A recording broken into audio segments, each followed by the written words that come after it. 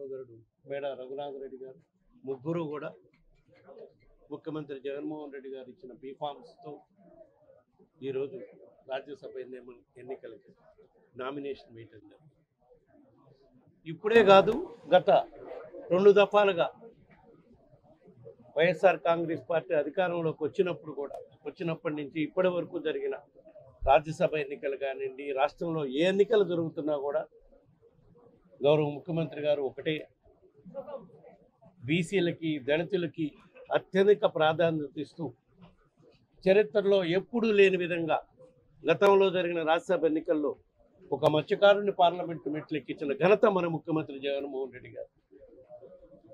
ఒక శెట్టిబలిజ నాయకుడిని పార్లమెంటు మెట్లెక్కించిన ఘనత మన ముఖ్యమంత్రి జగన్మోహన్ రెడ్డి గారు. ఈరోజు ఒక దళిత నాయకుడిని దళిత శాసనసభ్యుడిని పార్టీకి ఫస్ట్ నుంచి అండగా నిలబడిన ఒక దళిత దళిత నాయకుడిని గొల్ల బాబురావు గారిని పార్లమెంటు మెట్లు ఎక్కించ ఎక్కించబోతున్న ఘనత కూడా గౌరవ ముఖ్యమంత్రి జగన్మోహన్ రెడ్డి గారు తప్పకుండా ఏ విధంగా అయితే బీసీలకి దళితులకి మైనార్టీలకి గిరిజనులకి అత్యధిక అత్యధిక ప్రాధాన్యత ఇస్తూ పదవుల్లోనే కాదు అన్ని అభివృద్ధి సంక్షేమ పథకాల్లో కూడా ప్రాధాన్యత అత్యధిక శాతం మేలు చేసే విధంగా చేస్తున్న గౌరవ ముఖ్యమంత్రి గారు తప్పకుండా రాబోయే ఎలక్షన్స్లో ఈ రాజ్యసభ ఎలక్షన్స్లో ముగ్గురు అభ్యర్థులను కూడా మా నాయకుడి గౌరవ ముఖ్యమంత్రి ఇచ్చిన అవకాశం మీద తప్పకుండా విజయం సాధిస్తాము. ఎందుకంటే శాసనసభలో అత్యధిక శాతం శాసనసభ్యుల బలం మాకుంది.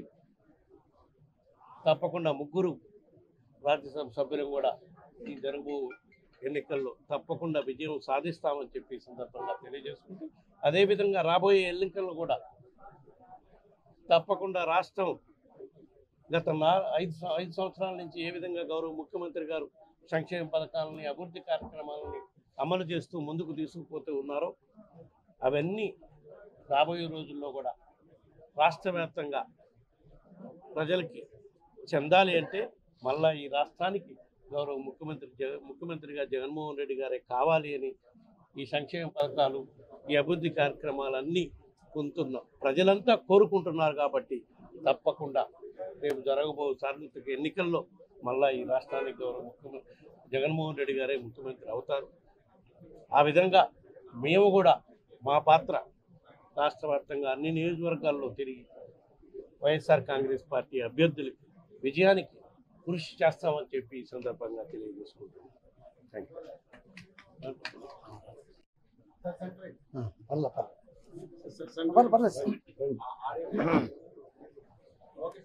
అందరికీ నమస్కారం.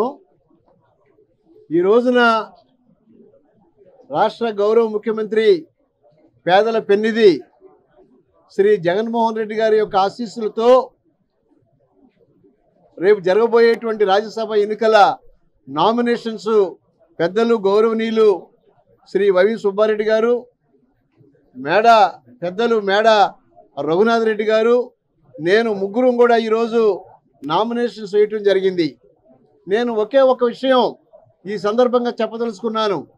రాష్ట్రంలో నిజంగా సమ సమాజం కోసం పేద వర్గాల అభ్యున్నతి కోసం బీసీలు ఎస్సీలు ఎస్టీలు మైనారిటీల కోసం ఏ ఎంత ఎంతవరకు ముందుకెళ్ళాలన్నా లేకపోతే ఏ విప్లవం తీసుకురావాలన్నా ఒక చరిత్ర సృష్టించాలన్నా ఈ రాష్ట్రంలో ఎవరి తరం కాదు కా నేరదు. అది కేవలం జగన్మోహన్ రెడ్డి గారు లాంటి గొప్ప ఒక సంస్కర్త ఈ పేదవర్గాల కోసం పుట్టినటువంటి ఒక కారణ జన్ముడుగా ఒక సంస్కర్తగా చేస్తున్నటువంటి అనేక ఈ యొక్క కార్యక్రమాల్లో భాగంగానే నాలాంటి ఒక సామాన్యమైన వ్యక్తిని దళిత సమాజ వర్గాలకు చెందినటువంటి నాలాంటి వ్యక్తికి కోట్లాది రూపాయలు ఇచ్చిన నిజంగా దొరకనటువంటి రాజ్యసభ పదవి నాలాంటి వ్యక్తికి వారు నామినేట్ చేశారంటే ఇదే ఒక ఉదాహరణ. రాష్ట్రంలో ఉన్నటువంటి పేద వర్గాలు దళితులు బీసీలు అందరికీ కూడా నేను ఒక విజ్ఞప్తి చేస్తున్నాను. జగన్ గారి నాయకత్వంలో ఈ పేద వర్గాలు బీసీలు ఎస్సీలు ఎస్టీలు అందరూ కూడా ఖచ్చితంగా ఆర్థిక రంగం కానీ రాజకీయ రంగం కానీ సామాజిక రంగం కానీ ఎన్నో రంగాల్లో ఇప్పటికే విప్లవాత్మకమైనటువంటి కార్యక్రమాలు తీసుకొచ్చినటువంటి ఘనత గౌరవ ముఖ్యమంత్రి గారిది. కానీ ఈరోజు మాలాంటి ఇది నిజంగా సార్వత్రిక ఎన్నికలకు ముందు జరిగేటువంటి రాజ్యసభ ఎన్నికల్లో మేము విజయ డంకా మోగించి సార్వత్ర సార్వత్రిక ఎన్నికలకి ఒక నాందిగా దీన్ని మనం తీసుకుని సార్వత్రిక ఎన్నికల్లో నూట డెబ్బై ఐదు సీట్లకి నూట డెబ్బై సీట్లు గెలుస్తాం. రాష్ట్రంలో ఒక చరిత్ర నిజంగా సృష్టిస్తామని చెప్పి ఈ మీ ద్వారా రాష్ట్ర ప్రజలందరికీ కూడా నేను విజ్ఞప్తి చేస్తూ తప్పనిసరిగా ఇలాంటి నాయకుడిని మళ్ళీ మనం అందరూ రాష్ట్ర ప్రజలందరూ కూడా నాయకులందరూ కూడా ఒక్కసారి అర్థం చేసుకోవాలి. ఈ సందర్భంగా ఒక్క విషయం మాత్రం చెప్పదలుచుకున్నాను. టీడీపీ నాయకుడు చంద్రబాబు నాయుడు గారికి మా ముఖ్యమంత్రి జగన్మోహన్ రెడ్డి గారికి తేడా టీడీపీ నాయకుడు చంద్రబాబు నాయుడు గారు ఏం చేశారు? లాస్ట్ ఎలక్షన్స్లో మా దళిత సమాజ వర్గానికి చెందినటువంటి వర్ల రామయ్య గారికి సీట్ ఇస్తానని చెప్పి ఆఖరికి కరకట్ట వరకు వచ్చిన తర్వాత కుటుంబంతో నీకు సీట్ లేదు వెనక పొమ్మన్నాడు. ఆఖరికి ఆయన సొంత సొంత సమాజ వర్గానికి చెందినటువంటి ఒక ఆడిటర్ అయినటువంటి కనకమేడల రవీంద్ర కుమార్ని వారు వారు వారు రాజ్యసభ పంపించి ఈ రాష్ట్రంలో ఉన్నటువంటి పేద వర్గాలకి ఆయన చేసినటువంటి అవమానం నిజంగా మరి నిజంగా ఈ రాష్ట్ర ప్రజలు ఎప్పుడు కూడా మర్చిపోరు. నేను ఒకటే మీ మీ- మీ ద్వారా రాష్ట్ర ప్రజలందరికీ నేను తెలియ తెలియజేయాలనుకుంటున్నాను. తప్పనిసరిగా ఈ పేద వర్గాల్లో ఉన్నటువంటి మా దళితులు ఎలాంటి ఇలాంటి చంద్రబాబు నాయుడు నమ్మితే మనకి నట్టేట ముంచేస్తాడని చెప్పి ఈ ఈ యొక్క సమావేశం ద్వారా రాష్ట్రంలో ఉన్నటువంటి పేద వర్గాలందరికీ కూడా నేను విజ్ఞప్తి చేస్తూ తప్పనిసరిగా మా పెద్దలు చెప్పినటువంటి విధంగా మా ఉన్నటువంటి సంఖ్యాబలం ప్రకారం మూడు సీట్లు మూడు రాజ్యసభ మెంబర్లు గెలిచి తొందరలోనే రాజ్యసభలో మేము ప్రమాణం చేసేటువంటి రోజు అది తొందరలో ఉంది దాని తర్వాత రాష్ట్రం అంతా మొత్తం తిరిగి ఈ వైఎస్ఆర్ పార్టీ చేస్తున్నటువంటి అద్భుతమైనటువంటి సంక్షేమ అభివృద్ధి కార్యక్రమాలని మేమందరికీ కూడా మేము వివరించి రాష్ట్రంలో ఉన్నటువంటి అన్ని సీట్లు గెలుచుకునేటువంటి విషయంలో మేము ముందుంటామని మీ ద్వారా ప్రతి ఒక్కరికి తెలియజేసుకుంటున్నాను